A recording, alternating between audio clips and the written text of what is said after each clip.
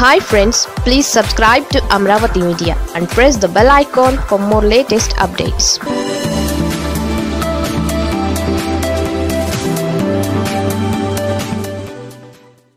ఆ పెద్ద నేతకు చిక్కులు జగన్ కేసీఆర్ జాతకులు బేష్ స్వరూపానంద ఉగాది పంచాంగం. శార్వారి నామ సంవత్సరానికి వేడుకలు పలికిన తెలుగు ప్రజలంతా శ్రీ ప్లవనామ సంవత్సరానికి ఆహ్వానం పలుకుతూ ఉగాది పండుగను జరుపుకుంటున్నారు.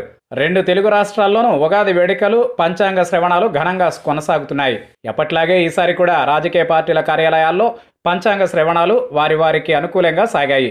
ప్రజాదరణ పొందిన పలువురు స్వాముల పంచాంగ పఠనాలకు ప్రాధాన్యం ఏర్పడింది. ముఖ్యంగా రెండు తెలుగు రాష్ట్రాల ముఖ్యమంత్రులకు అత్యంత ప్రీతిపాత్రుడిగా ఆంధ్ర తెలంగాణ రాజకీయాల్లోనూ హాట్ టాపిక్గా కొనసాగే స్వరూపానందేంద్ర స్వామి పంచాంగ పఠనంలో ఈసారి అనూహ్య విషయాలు చెప్పారు. ఉగాది పండుగతో ప్రవేశించిన ప్లవనామ సంవత్సరం శుభప్రదమైన సంవత్సరం అని పండితులు చెబుతున్నారు. ప్లవ అంటే దాటించున్నది అని అర్థం.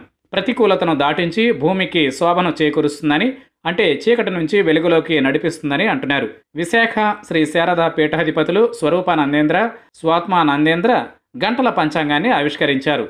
ప్లవ అంటే చీకటిని పారద్రోలి వెలుగులు నింపడమని స్వామి స్వరూపానందేంద్ర అన్నారు. ఉగాది వేళ పంచాంగాన్ని ఆవిష్కరించిన స్వరూపానంద శార్వరి వికారిలా కాకుండా ప్లవనామ సంవత్సరంలో శుభాలు కలగాలని కోరుకుందామని అన్నారు. ఈ సంవత్సరం ఎలా ఉండబోతోంది? రాబోయే రోజుల్లో పరిస్థితులు ఎలా ఉండబోతున్నాయి అనే విషయాన్ని స్వామి వెల్లడించారు.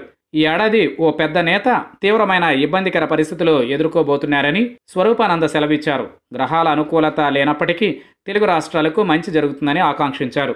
తెలుగు రాష్ట్రాల ముఖ్యమంత్రులు వైఎస్ జగన్ కేసీఆర్ జాతకాలు బాగున్నాయని ఆంధ్ర రాష్ట్రానికి ఆర్థికపరమైన ఇబ్బందులు ఉండవని అన్నారు స్వరూపానందేంద్ర. రాష్ట్రానికి మంచి జరుగుతుందని భావిస్తున్నాను అన్నారు. విశాఖ శారదాపీఠంలో ఈ నెల పదమూడు నుంచి భగవంతుణ్ణి రాజశ్యామల ఆరాధనను విశేష అర్చనలు నిర్వహిస్తామని అన్నారు.